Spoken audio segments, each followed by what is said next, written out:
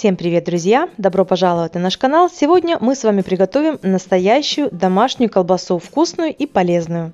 В магазине колбаса продается, как известно, с различными добавками, вредными и опасными для здоровья, такими как усилители вкуса, мальтодекстрины, крахмалы, мука, всякие разные другие добавки, которые не разрешены на кетопитании. В нашей колбасе все только натуральное, без вреда для здоровья. Начнем готовить.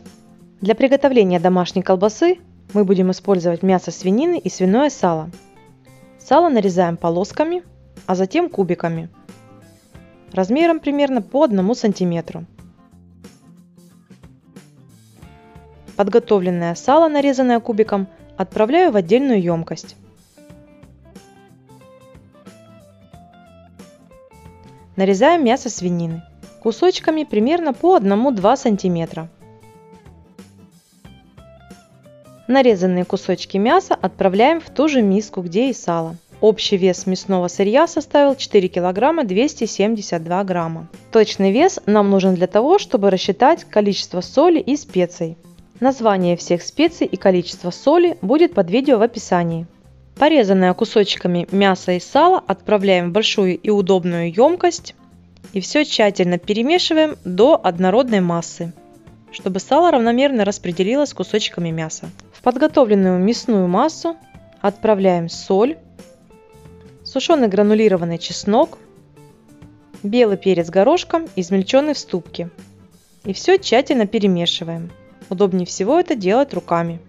Подготовленный колбасный фарш будем набивать в натуральную оболочку. У нас свиная черева диаметром 32 мм.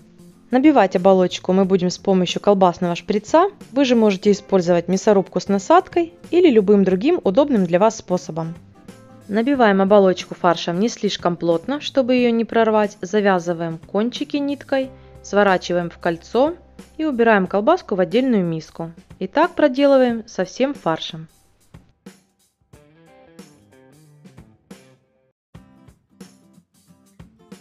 Подготовленную заготовку домашней колбасы протыкаем зубочисткой или иголкой для того, чтобы вышел лишний воздух. Это делается для того, чтобы во время приготовления оболочка не лопнула. Отправляем колбасу в гастроемкость и убираем в холодильник на сутки для стабилизации. Сутки прошли. Вот так теперь выглядит колбаса. Немного изменилась в цвете. Теперь ее можно уже готовить. Перекладываю ее на поднос, сворачиваю в кольца и увязываю. Увязывать можно удобным для вас способом. Еще одно контрольное взвешивание. У нас 6 колечек получилось общим весом 4 килограмма 320 грамм. Теперь колбасу перекладываю на решетку, застеленную пергаментной бумагой и смазываю растопленным салом.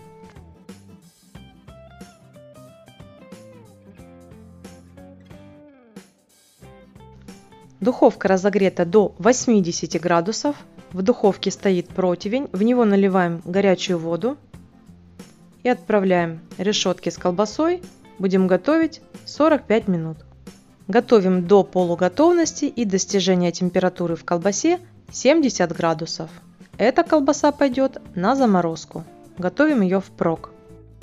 45 минут прошло, температура 70 градусов достигнута, вынимаю 4 колечка колбасы из духовки на вакуумацию. В духовке выставляю температуру 200 градусов и запекаю оставшуюся колбасу примерно 30 минут до готовности. Колбасу, доведенную до 70 градусов еще горячей, вакуумируем, даем остыть и убираем на хранение в морозильную камеру. Замороженные полуфабрикаты в любое время можно достать из морозилки и приготовить удобным для вас способом запечь в духовке, пожарить на сковородке или на электрогриле. Тем временем колбаса в духовке уже приготовилась. Достаем ее и можно подавать к столу. Она получается очень вкусная и полезная, так как в ее составе только натуральные продукты. Такую колбасу можно подавать в любом виде, как в горячем, так и в холодном виде нарезки. Она очень вкусная, сочная, ароматная, а главное настоящая. Подписывайтесь на наш канал, кто еще не подписался, ставьте колокольчик, чтобы не пропустить оповещения о новых рецептах. Всем пока!